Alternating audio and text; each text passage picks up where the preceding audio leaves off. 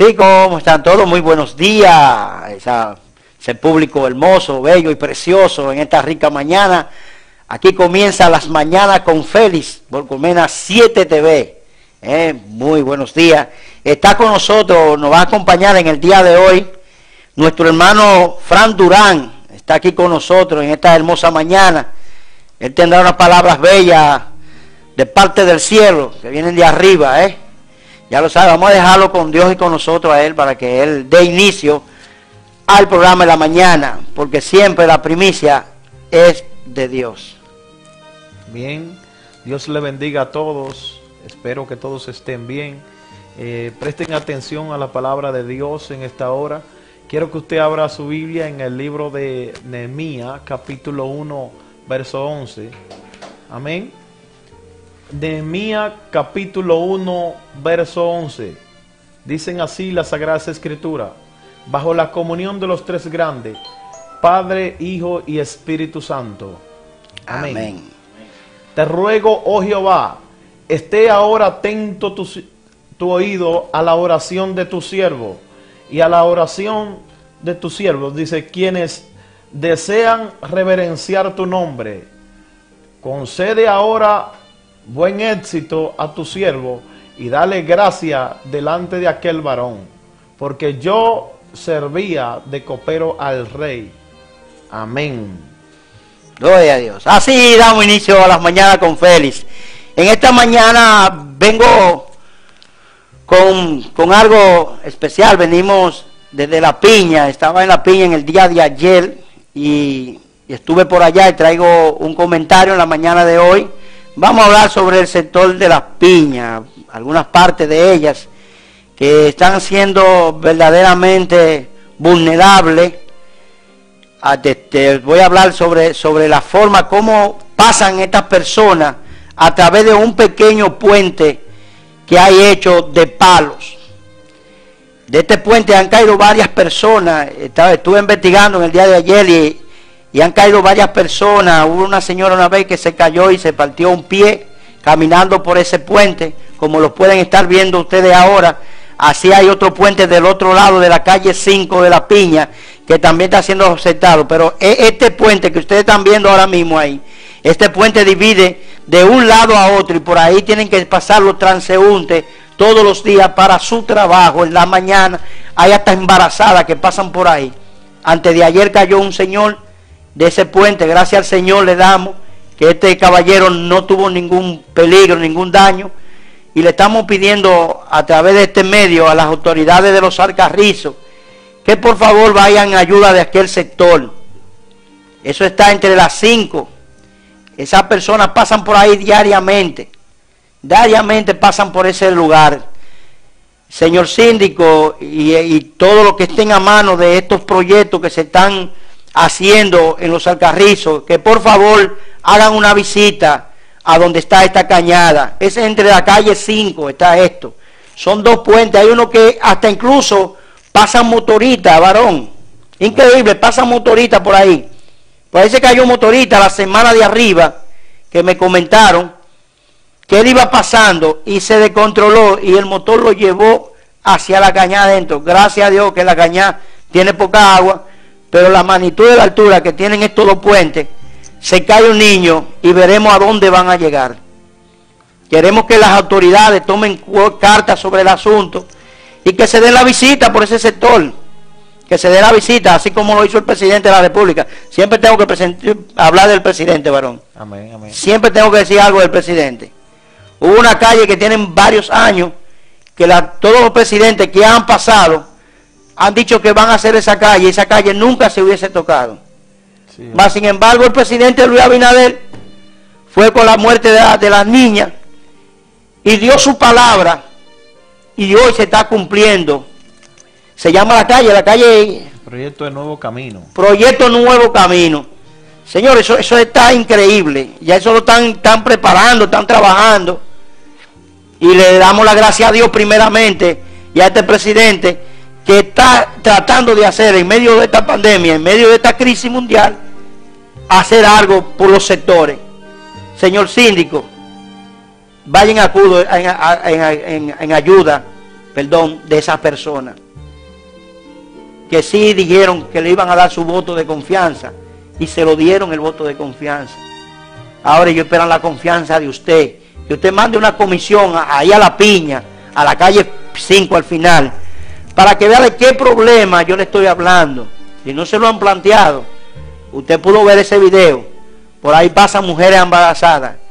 Y hay ancianos que no pueden pasar al otro lado a saludar a su gente. ¿Por qué? Porque tienen temor a irse de lado en ese puente. Esperamos que, que usted mande una comisión. Mande una comisión a aquel sector. Porque aquel sector necesita.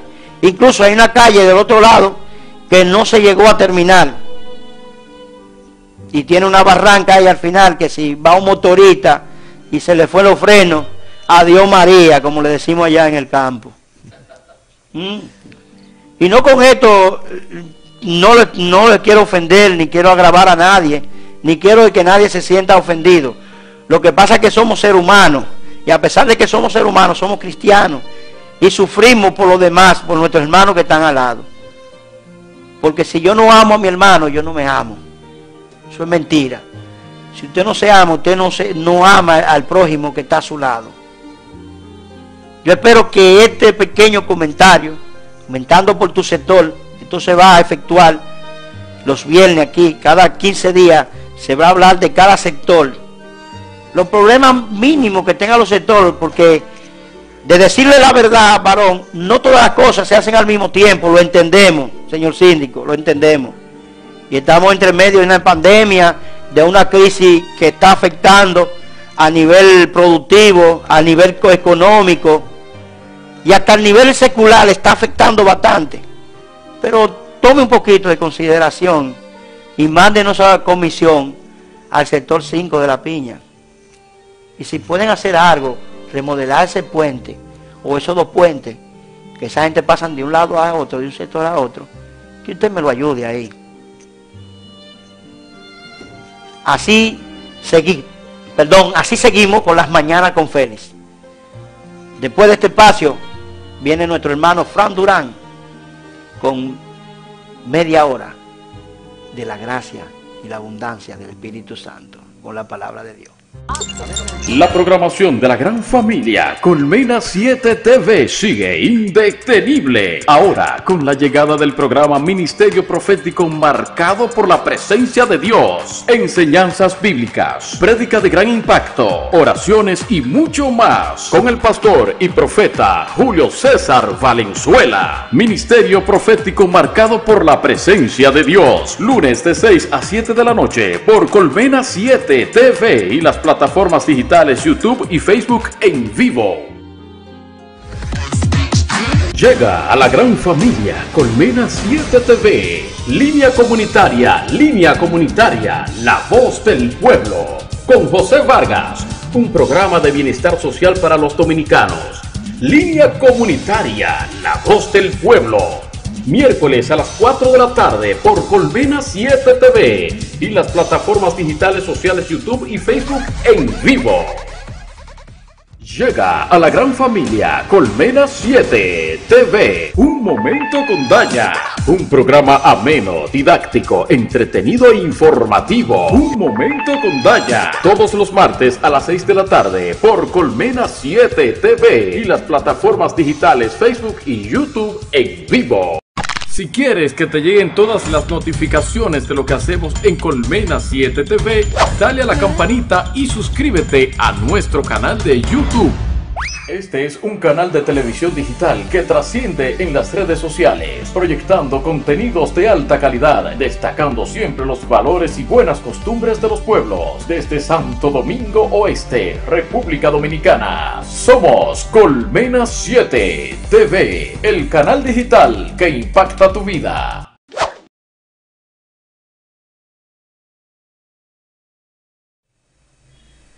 Bien, Dios le bendiga amados hermanos y público televidente que están mirando eh, la pantalla de su televisión, de sus celulares en esta hora.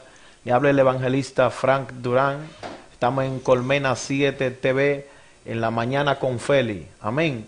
Que Dios bendiga grandemente al productor de este programa. Que el Señor derrame bendiciones hasta que sobreabunden sobre cada uno de ustedes que están mirando en las pantallas de sus celulares. Amén.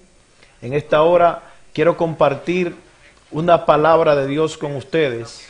Y espero que les sea de gran bendición. Amén. Respondo al nombre de Frank Durán, evangelista Frank Durán.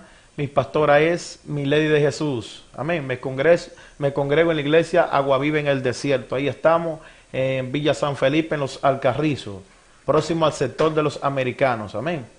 Eh, yo espero que esta palabra le sea de impacto a usted, a su vida, y que sea de levantamiento, de reedificación o de edificación. Amén. Amén. Yo quiero que usted abra su Biblia nuevamente en el libro de Nehemías, capítulo 1, verso 11. Nuevamente vamos a proceder a leer el verso bíblico para todos ustedes. Amén. Bajo la comunión de los tres grandes, Padre, Hijo y Espíritu Santo. Amén.